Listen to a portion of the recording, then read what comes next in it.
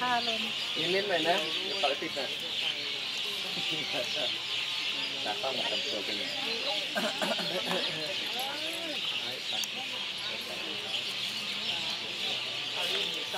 เต็มข้อมุมเลยนะ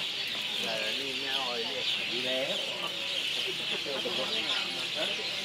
ต้องมาตีสองที่โอ้โหกะว่าประมาณตีสาม จะดูมาอ่าแล้วแล้วเราไปรอกันที่ไหนก็ผมจอดที่ปั๊มนี่ก่อน แล้วก็โทรไปเขาบอกที่ไหนแล้วมาเมื่อรอหน้าวัดดีกว่า